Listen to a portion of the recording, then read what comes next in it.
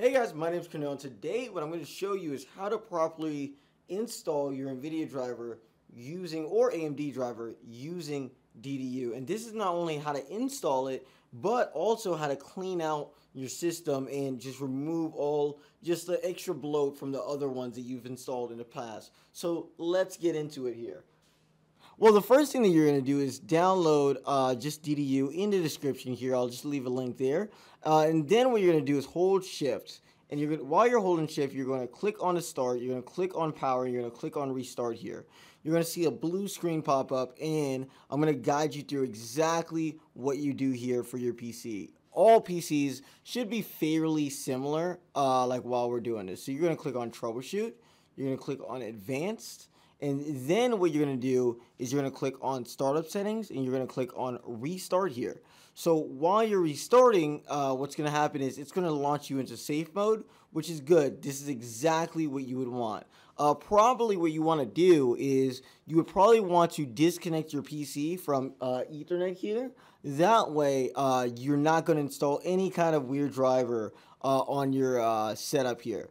Now, on my PC, it's going to say safe mode, like safe mode right here. So I'm just going to press enter. If your PC gives you a list of options like 1 through 8 or 1 through 10, it's going to likely be the safe mode option that you're going to select. I'm pretty sure that option is going to be number 4 here. So now that I'm in safe mode, what I'm going to do is I'm just going to launch up my PC like regular. It's going to look perfectly normal here, but you're going to notice that it's going to say safe mode to the top right. That's how you know you did it right. Now what you're going to do is you're going to launch up DDU here. Uh, what I generally recommend is that you launch it uh, top left here or just keep it um, keep it as an icon on here. Uh, but I'm just going to search it up on my computer real quick.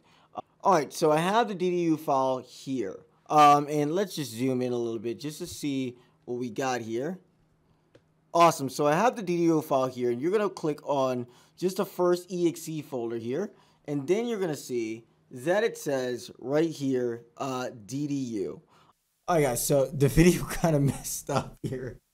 Uh, so I'm to go through just the DDU here on my computer. So basically, all you got to do is click on select device type. You're going to click on GPU, right? And then you're going to click on clean and restart, and that's it. Boom, boom, boom. You install your driver, you're good to go. That's it. Uh, but basically, uh, if you have a, a, AMD, you could just select AMD, but it should automatically select it for you. You shouldn't have to do anything else. That should make sure that you clean install uh, just your newest driver. Make sure to disconnect that Ethernet device or that Ethernet cable that I know you have connected to the internet here. Do not forget that step. Uh, plus, I have a video down below if you're an NVIDIA user of how to clean uh, install your NVIDIA driver for the most FPS. Go ahead and check that out. Please like and subscribe if you like this content. You have a wonderful rest of your day. We're going to act like this video was perfect. Have a nice day. Catch you later.